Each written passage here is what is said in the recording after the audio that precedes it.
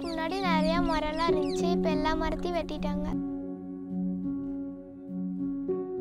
While development projects are important for the country, sometimes such projects end up destroying the common man's livelihood due to the government's lack of planning.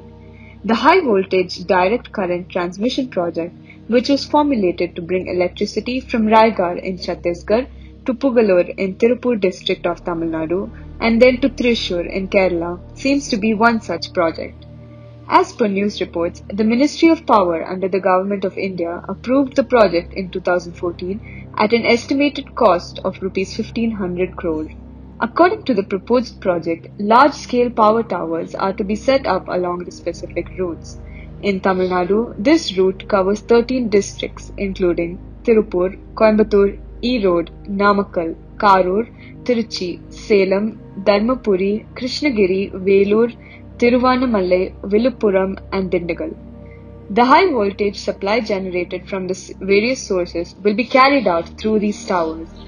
But the issue of concern here is that large tracts of farming land fall within these planned routes, leading to huge numbers of farmers losing their farmlands during the land acquisition process. NewsClick met with the families of the affected farmers in the Sankari Panchayat of Salem district. Tower line வரதுக்கு முன்னாடி வந்து நாங்கள் வந்து எல்லா பயிரும் பண்ணியிருந்தோம். தென்னை மரம் நிறையா இருந்தது எங்கள் தோட்டத்தில். இப்போ வந்து டவர் லைன் வந்ததுக்கு பின்னாடி மரப்பயிர் எதுவுமே நாங்கள் பண்ண முடியாத சூழ்நிலைக்கு ஆளாயிட்டோம்.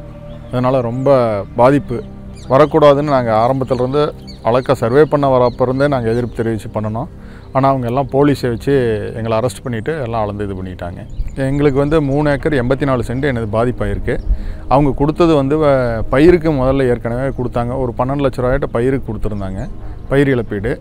அது இது வந்து நிலத்திற்கான இழப்பீடு வந்து ஒன்றுமே கொடுக்கல. மொத்தமாகவே அஞ்சு லட்சத்தி நாற்பதாயிரம் ரூபா மட்டும்தான் போட்டுருக்காங்க. அது கண்டிப்பாக பத்தாது. ஏக்கர் ஐம்பது லட்ச ரூபாய்க்கு விற்கக்கூடிய நிலத்தில் டவர் லைனை போட்டு அதனுடைய மதிப்பே எல்லாமே வீழ்ச்சி அடைந்துருச்சு டவர் லைன் நாட்டுக்கு நல்லதுன்னா ம- பொதுமக்களாக அரசாங்கமாக பாதிப்பை எங்கள் அவங்களுக்கு யூஸுங்கிறதுனால நாங்கள் விவசாயிங்களான நாங்கள் தானே பாதிப்படைகிறோம் இதனால் எங்கள் வாழ்வாதாரமே பாதிக்குது. இதை வச்சு தான் நாங்கள் குழந்தைங்களை படிக்க வைக்கிறதுலேருந்து கல்யாணம் பண்ணுறதுலேருந்து ஒரு ஏக்கரை விற்று கூட பண்ணுவோம். இப்போ நாங்கள் அதை விற்க முடியாத சூழ்நிலைக்கு ஆளாயிட்டோம்.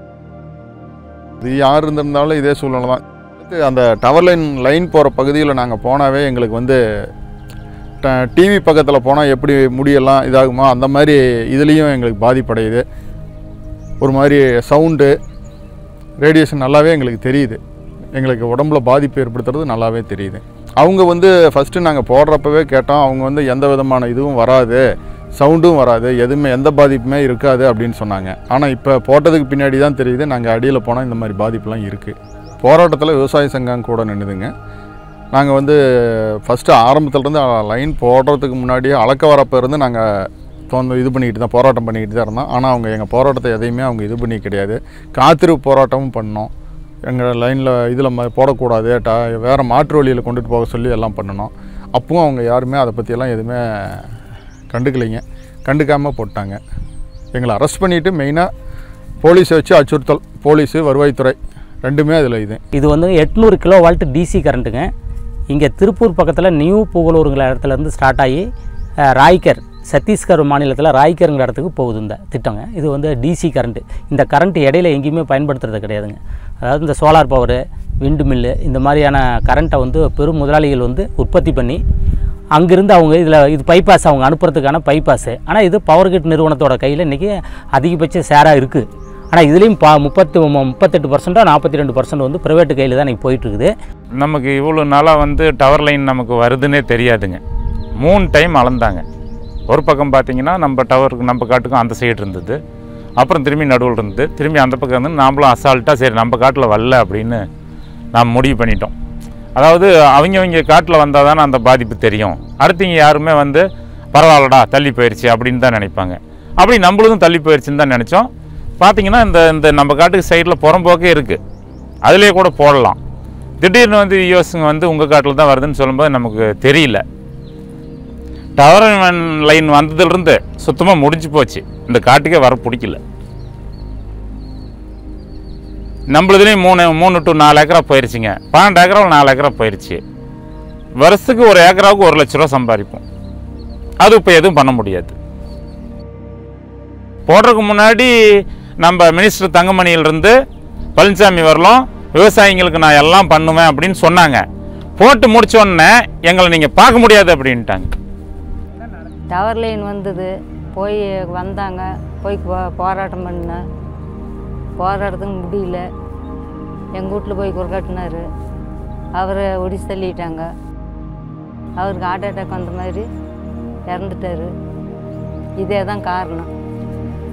டவர் லைன் காரணம் தான் அவருக்கு. இதை நம்பி தான் நாங்கள் இருக்கிறோம் வேறு தொழிலை செய்கிறோம் எதுவுமே இல்லை. இந்த திட்டத்தை ஸ்டார்ட் பண்ணுறப்போ நாங்கள் வந்து முறையாக விவசாயிகள் வந்து தடுத்தாங்க. அவங்களுக்கு சப்போர்ட்டாக வந்து விவசாய சங்கம் கூட்டமைப்புன்னு உருவாக்கி நாங்கள் எல்லாமே சப்போர்ட் பண்ணுவோம் எல்லா இடத்துலையும். நாங்கள் பல இதுக்கு என்ன மாற்று தீர்வு நாங்கள் என்ன சொன்னோம்னா அவங்க விவசாயிகள் சார்பில் நீங்கள் கேபிள் வழியாக கொண்டுட்டு போகலாம் இந்த திட்டத்தை. ரோட்டோரமாக ஹைவேஸ் ஓரமாக கொண்டுட்டு போகலாம் ஏன்னா விவசாய நிலம் வந்து விவசாய நிலம் மட்டும் பாதிக்கலைங்க. அந்த நிலத்தில் வந்து கஷ்டப்பட்டு அவங்க உருவாக்கின பல லட்சக்கணக்கான தென்னை மரம் மாமரம் பல பயிர் பலாமரம் இந்த மாதிரி இருக்கக்கூடிய பல வகை மரமெல்லாம் அத்தனை மரத்தை வெட்டினாங்க. இதெல்லாம் பாதிக்கக்கூடாதுன்னு தான் ஆரம்பத்திலேயே நாங்கள் சொன்னோம். இந்த இதை வந்து இன்றைக்கி மாட்டு கேபிள் வழியாக கொண்டு போகலாம் அந்த மாதிரி டெக்னாலஜி ஃபாரின்லாம் வந்துருச்சு. இப்போ சில இடத்துல வந்து நம்ம புயல் பாதிக்கக்கூடிய கடலூர் மாதிரி ஏரியாவிலலாம் கூட கேபிள் போட்டிருக்காங்க. எட்நூறு கிலோ வால்ட்டுக்கு வந்து டிசி கரண்ட்டுக்கு வந்து கேபிள் வழியாக சாத்தியம் இல்லைன்னா பேசுனாங்க. ஆனால் வல்லுநர்கள்லாம் சொல்கிறாங்க இதை வந்து போட முடியும். ஆனால் செலவு வந்து இதாட்ட எட்டு மடங்கு ஆகும் அப்படிங்கிறாங்க. அப்போ எட்டு மடங்கு ஆகுன்னு அரசாங்கம் நினச்சா செஞ்சிடலாம் ஈஸியாக ஆனால் ப்ரைவேட் நிலத்துக்குள்ளே கொண்டு வந்து விவசாய நிலத்தில் போட்டு அந்த நிலத்தோட மதிப்பை அழித்து கடைசியில் விவசாயியோட வாழ்வாதாரத்தையே சுக்குநூறாக்கிட்டாங்க. பல போராட்டம் நடந்ததுங்க. விவசாயிலாம் எதிர்த்து நின்னாங்க. போலீஸ் வச்சு அடக்குனாங்க.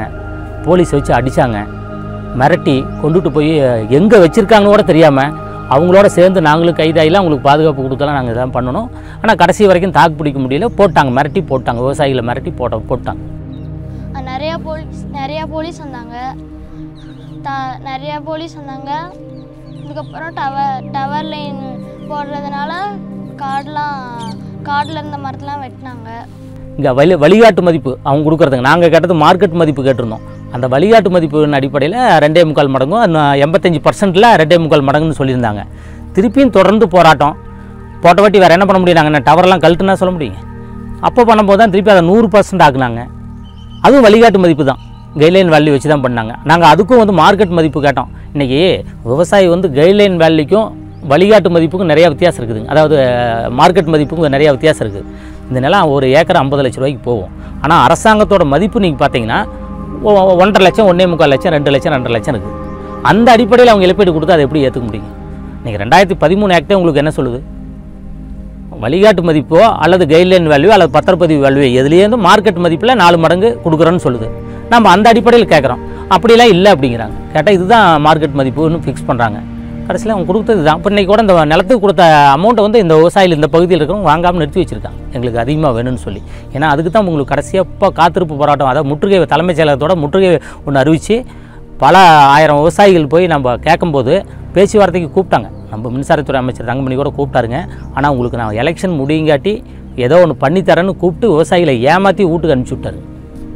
கொடுக்கல. இது வரைக்கும் எந்த இதுவும் இல்லைங்க கொடுக்கல. அப்புறம் இடையில கட்டத்துக்கு எலெக்ஷன் அறிவிச்சாச்சும் ஒன்றும் பண்ண முடியாது. போயிட்டு வாங்கன்ட்டு. There is an urgent need to look at alternative ways to implement such development projects.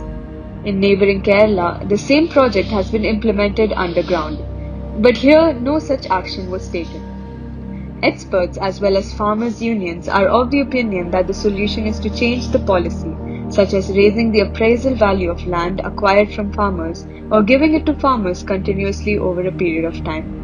It remains to be seen whether the present DMK government will implement such policy changes.